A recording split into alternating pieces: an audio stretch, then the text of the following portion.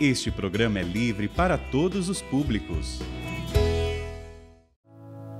O Senhor esteja convosco. Ele está no meio de nós. Proclamação do Evangelho de Jesus Cristo segundo João. Glória a vós, Senhor. Naquele tempo, disse Jesus aos seus discípulos: Como meu Pai me amou, assim também eu vos amei. Permanecei no meu amor. Se guardardes os meus mandamentos, permanecereis no meu amor, assim como eu guardei os mandamentos do meu Pai e permaneço no seu amor. Eu vos disse isto para que a minha alegria esteja em vós e a vossa alegria seja plena. Este é o meu mandamento. Amai-vos uns aos outros, assim como eu vos amei. Ninguém tem amor maior do que aquele que dá sua vida pelos amigos. Vós sois meus amigos, se fizerdes o que eu vos mando. Já não vos chamo servos, pois o servo não sabe o que faz o seu senhor. Eu vos chamo amigos, porque vos dei a conhecer tudo o que ouvi de meu Pai. Não fostes vós que me escolhestes, mas fui eu que vos escolhi, e vos designei para irdes, e para que produzais fruto, e o vosso fruto permaneça. O que então pedirdes ao Pai em meu nome, Ele vô-lo concederá. Isto é o que vos ordeno, amai-vos uns aos outros. Palavra da salvação. Glória a vós, Senhor.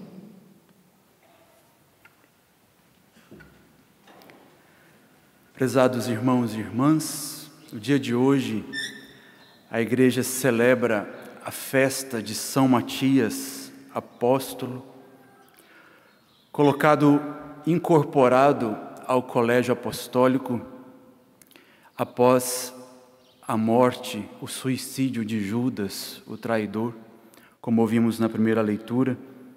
Os apóstolos desejaram escolher alguém que fosse testemunha ocular dos feitos de Jesus, da ressurreição do Senhor, para então completar o colégio dos apóstolos, e como nós ouvimos, a sorte caiu sobre Matias, que ocupou então o lugar daquele que, pela infidelidade, traiu nosso Senhor, e logo após a traição, diz o Evangelho, Judas tira a própria vida.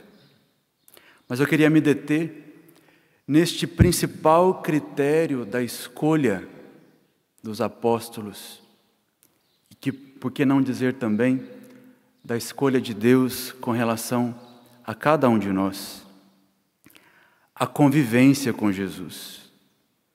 Diz o livro dos Atos dos Apóstolos, homens que nos acompanharam durante todo o tempo que o Senhor Jesus viveu entre nós. Porque a vida apostólica, a vida do serviço a Deus, daquilo que se faz por Deus e para Deus, deve necessariamente ser precedida da convivência e da amizade com Deus. A escolha de Deus caiu sobre Matias, sobre os outros apóstolos, caiu sobre os santos, e se nós formos, formos descendo os degraus da escolha de Deus, podemos reconhecer que, não obstante a nossa pequenez, Deus também olhou para nós com benevolência e nos quis perto de si.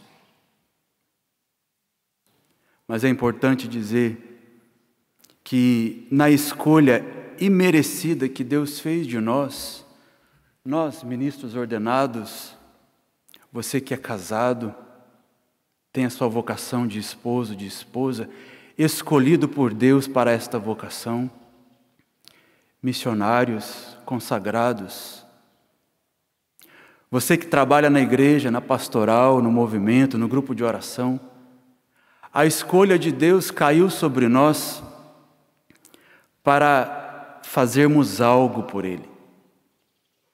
Um ofício, um trabalho. Assim como caiu sobre estes homens, e graças ao trabalho deles, a vida entregue, o Evangelho chegou até nós. Mas é ilusão pensar que esta escolha de Deus faz de nós, homens e mulheres, indispensáveis na igreja. Nós não somos indispensáveis. Porque Deus é Deus, a obra é dele, a igreja é dele.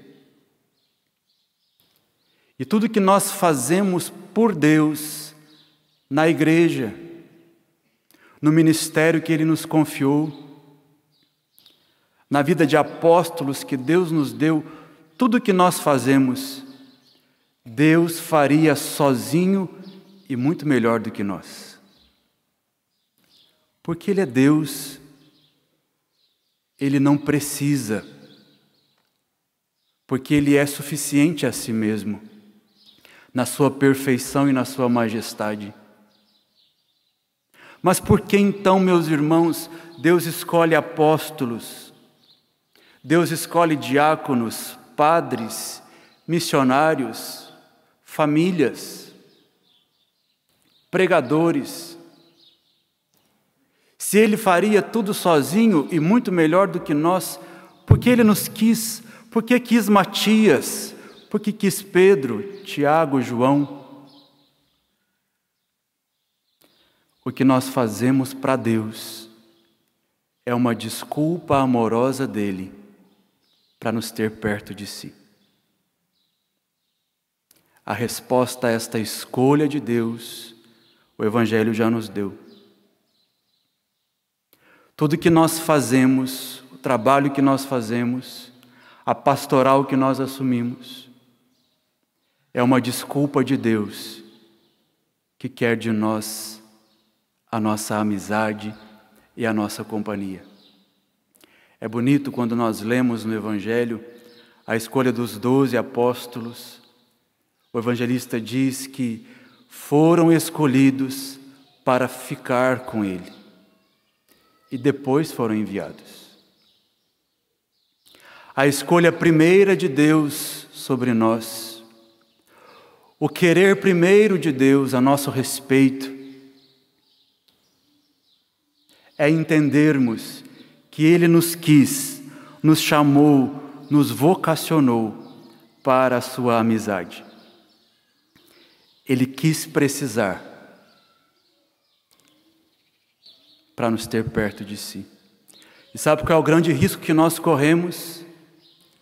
Vivermos na igreja, peregrinarmos a canção nova, morarmos na canção nova, convivermos com o sagrado durante tanto tempo e não entrarmos na beleza da amizade divina. Nos tornarmos simplesmente funcionários do sagrado. Semana passada, eu moro com esses rapazes, com esses seminaristas e os outros da nossa casa. Eu ouvi de um deles um testemunho a respeito de Judas. Ele participou de uma peça, aquela peça da Paixão de Cristo, muito famosa no Nordeste. E uma das cenas que acontece logo depois da traição, e os, alguns perguntam para Judas: por que é que você fez isso? Por que é que você traiu? Judas, o traidor, aquele que foi substituído pelo santo que celebramos hoje. E a resposta de Judas: Eu fiz isso porque eu perdi o encanto por ele. Deus nos livre de conviver com Jesus, de estar tão perto dele,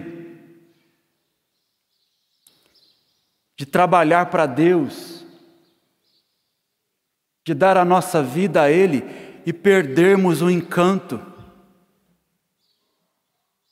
Somente os encantados, somente os amigos fiéis a nosso Senhor poderão dar a vida por ele. No trabalho, na missão, no matrimônio, no sacerdócio, e se preciso for, como este santo, entregar a vida.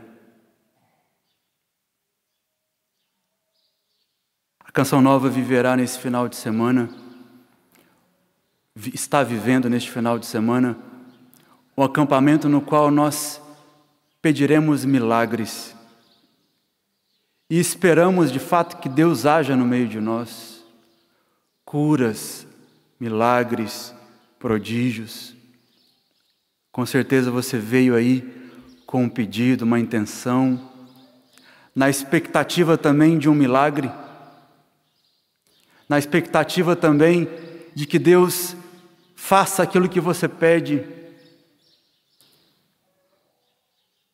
Mas todo milagre que Deus faz por nós, nós que experimentamos na nossa vida e no nosso corpo os milagres de Deus,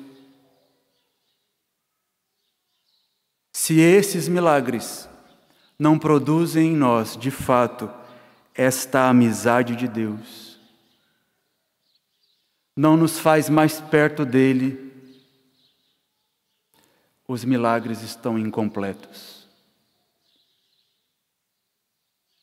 Experimentar a graça de Deus, receber uma cura, um prodígio, ser alcançado na nossa saúde física, espiritual, psicológica, deve gerar em nós tal gratidão a ponto de não mais sairmos de perto de Deus e nos tornarmos aquilo que Ele quer de nós, grandes amigos.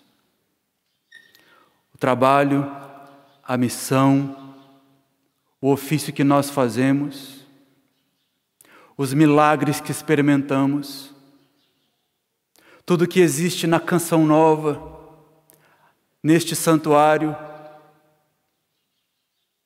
só existe por um único motivo: fazer de nós, homens e mulheres, mais perto de Deus. Mais ainda, unidos a Ele. Matias morreu na Etiópia, dando a vida por Jesus.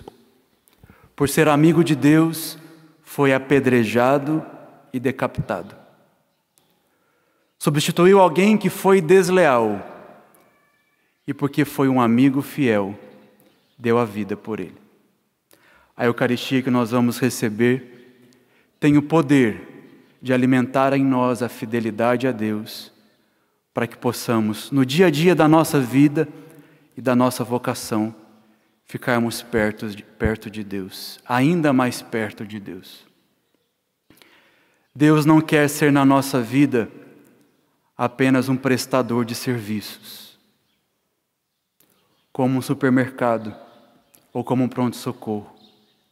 Se Deus nos presta um serviço, se Deus nos dá uma graça, é porque, por trás dessa graça, há o desejo de Deus de nos fazer amigos para sempre. Louvado seja nosso Senhor Jesus Cristo.